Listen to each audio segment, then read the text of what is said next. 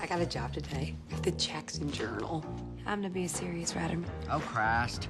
I guess you'll do. Great. You can write my obituary. Charlotte Phelan, dead. Her daughter, still single. Aibileen! Girls are pulling up and the table isn't set.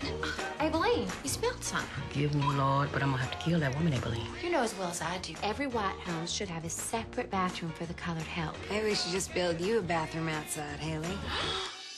you said to write about what disturbs me. I'm listening. I was raised by a colored woman. I've seen how simple and how complex it can be. She raised me. She did not. I'd like to write something from the point of view of the help. A book like this has never been written before. There's a reason. These women raise white children, but they can't even use the toilets in our houses. Minny, are you in there? You are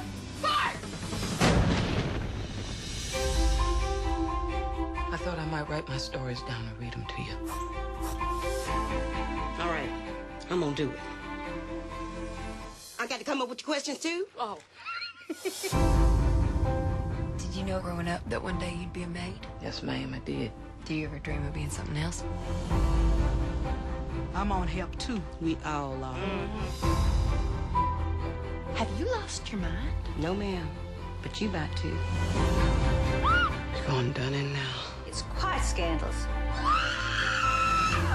You a godless woman. Things are fine around here. Why go stir up trouble? Trouble's already here.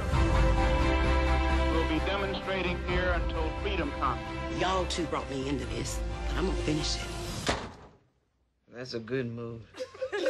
Courage sometimes skips a generation. Thank you for bringing it back to our family.